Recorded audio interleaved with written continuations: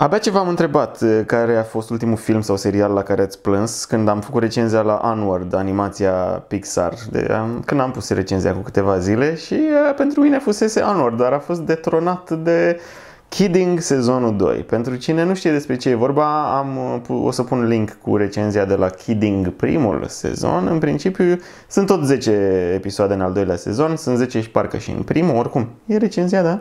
În principiu este vorba despre personajul lui Jim Carrey, care este un fel de Mr. Rogers, care a avut Mr. Rogers Neighborhood, nu e foarte cunoscut în România, nici eu nu, nu m-am uitat. E asemănător cu Mr. Rogers, adică este un tip care a vrut să facă lumea mai bună, mai ales, mă rog, eu, printr-o emisiune cu păpuși pentru copii, și e, e oricum e setat pe bunătate, corectitudine, spune adevărul, etic, justiție, dar mă rog, în principiu bunătate, fiți buni, faceți aia, fiți extraordinari. E, e un fel de preot, de budist, de nu știu, dar un fel de că și ei fac mișto pe chestia asta. E, chestia e că dacă, așa cum sună, nu sună foarte interesant, dar e făcut scenariu și faptul că e Jim Carrey, bine, pentru mine, într-adevăr, faptul că e Jim Carrey ridică foarte mult pentru cine, nu, nu știu, cui nu-i place Jim Carrey, nu știu dacă o să fie la același nivel serialul, dar nu e ținut doar de Jim Carrey, pentru că nu e el făcând cum îl știe foarte multă lume, strâmbându-se și făcând tot felul de nebunii, nu știu, nu, nu, nu. E scenariu foarte bun, chiar mă gândeam cum de a ieșit atât de bine și la sezonul 2. Adică primul sezon a fost uh, foarte mișto pentru ce a vrut să fie. Nu, nu e pentru toate gusturile clar. E un umor negru combinat cu umor normal și ciudat. E foarte ciudat. Dar, adică depinde de gusturi și o, multe înjurături. Adică nu e, nu e chiar, nu e, nu e deloc de copii. Și, și e foarte emoționant. Melodiile sunt foarte mișto. Soundtrack-ul, toate, toate melodiile și combinația de cum regizează, cum bagă, cum meditează. Dintr-o dată e ceva trist, după care e ceva trist, dar cu o melodie și cu un montaj din asta, cu un colaj de scene, nu știu ce, din trecut, din viitor, din, nu din viitor, din trecut, mă rog, din prezent, nu știu ce. Foarte mișto pe muzică, îmi place foarte mult chestia asta. Nolan mai face chestia asta foarte bine când bagă niște flashback-uri. Îmi place foarte mult când fac chestia asta. După aia, dintr-o dată, e ceva eh, fericit, de bucuri, nu știu ce sunt ei, se întâmplă ceva bun, iar e, iar e un, un flashback din asta sau, mă rog, un colaj de scene cu ei fericiți și e foarte mișto făcut și parcă îți vine tot timpul să ți se umezesc ochii mie, mi s-au umezit de foarte multe ori și am plâns de vreo două ori, cred, mi-au dat în lacrimile, mai ales la sfârșit și au fost momente de... E foarte interesant. Ce puncte negative ar avea, am zis chestia că n-ar fi pe toate gusturile, adică aș vedea mulți oameni uitându-se la chestia asta și din, fără să-i dea o șansă, eu aș zice să-i dați o șansă să vedeți mai multe episoade, fără să-i dea o șansă ar zice ce dracu e căcatul ăsta e ciudat și nu mi se pare deloc amuzant și e trist, dar de, aș vedea multă lume făcând chestia asta. Eu l-am și pe Jim Carrey și poate am rămas pentru el și de asta am putut să rezist și mi-am făcut, nu că să rezist, nu e bine să rezist, că mie mi-a plăcut din prima, dar poate faptul că zicem că sunt și momente în care poate unii ar renunța în serial, nu că ar fi multă umplutură, dar să zicem că ar fi momente în care unii poate ar zice că se lungesc prea mult cu partea tristă sau partea ciudată sau exagerează. Mie nu mi s-a părut um, și poate ar renunța. Eu m-am dus oricum, m-aș fi uitat oricum pentru că e Jim Carrey, deci asta e avantajul meu personal.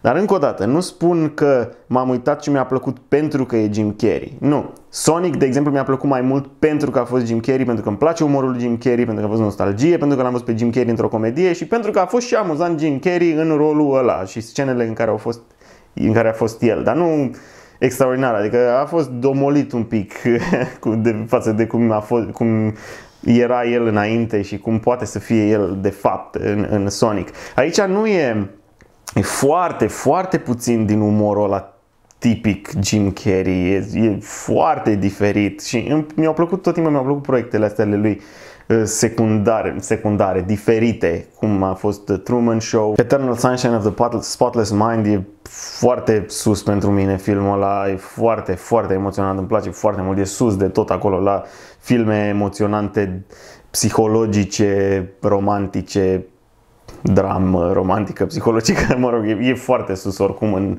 topul filmelor pentru genul ăla, dar și pentru și în topul normal. Și The Truman Show e oricum E, e foarte bun tipul, adică mi se pare destul de subapreciat și toată lumea se gândește, ok, ăia, ăia care nu gustă umorul lui Jim Carrey zic, da, ăsta să strâmbă nu știu ce și nu-mi place și nu-l suport. Ok, poate nu-l suportați nici în drame și chestii de astea. Ah, ok, asta e. Depinde de gusturi la Kidding destul de mult. Așa e, corect. Mie mi-a plăcut foarte mult. Nota mea pentru Kidding sezonul 2 este un minus minus 10 pentru că da, câteodată poate exagerează un pic uh, tipul care îl joacă pe Will fiul lui Jim Carrey, mă rog, lui Mr. Pickles, mi se pare că nu joacă prea bine, scenele cu el sunt eh, eh, nu știu, mă, mm, așa, nu zic că nu sunt interesante, dar parcă, mă rog, Frank Langella, care e tatăl lui Jim Carrey în serial, e foarte bun și el toți joacă foarte bine. Catherine Kenier, sora lui, mamă, frate, deci a rupt în sezonul 2, a jucat, a jucat mult mai mult, a apărut mult mai mult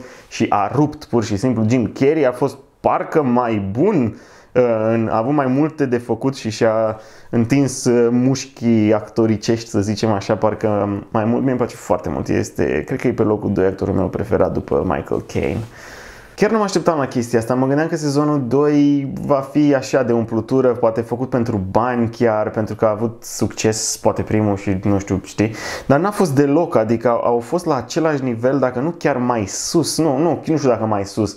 Dar la același nivel au, au rămas la punctele forte, umor bun, umor negru bun, umor normal bun, dramă, emoție, muzică foarte mișto. E, are un echipament complet așa, dar nu pentru toate gusturile. N-aș vedea pe oricine zicând chestia asta. Eu am și avantajul cu Jim Carrey. Într-adevăr, poate sunt na, așa. Bine, toate filmele, toate astea, toate chestiile astea sunt subiective, normal. Voce, cum vi s-a părut? Nu știu să vă zic unde să-l găsiți. Torrent. Deci, cine a văzut Kidding, cum, cum vi se pare? E, a, așa are niște chestii de-astea practice, niște efecte practice, cum a fost în primul sezon când se mișcă, se învârte o cameră și, și în, în timp ce se învârte camera de filmat într-o încăpere, se schimbă, mă rog, ei vor să spună că a trecut, trece mult timp și cum se schimbă persoana care trăia în, în casa aia, se schimbă și arată cum se schimbă pe parcurs, cum se mișcă camera, dispare canapeaua murdară, apare o canapea curată, apare ea îmbrăcată diferit, apare ea care vopsește, apare o plantă, apare nu știu ce. Și chestia aia a fost făcută pur și simplu în timp ce se mișca încet camera, era o echipă întreagă de oameni 100 de oameni care mutau lucrurile și nu știu ce, aia să schimba în spate și după aia apărea din nou și nu știu ce. Cred că a fost o scenă în sezonul 2 care au făcut-o, pe care au făcut-o la fel. Cred, nu sunt sigur. Oricum, au rămas la chestii din astea, au băgat chestii de astea practice, multe, uh, foarte, foarte puțin CGI. El la un moment dat, uh, Jim Carrey întinerit un pic, uh, nu știu dacă cu CGI sau și CGI și machiaj în sezonul 2 și mama, a fost o lovitură de aia nostalgică pentru mine și asta nu că am plâns la chestia asta, nu vă imaginați, da, a fost gen, mamă, frate, ce vremuri. Deci până data viitoare când urmează multe alte chestii, rămâneți pe aici, reacții, trailere, seriale, filme, da, recenzii, filme, cinema. Nu are plăcută pupa, da pa, da pa, da pa.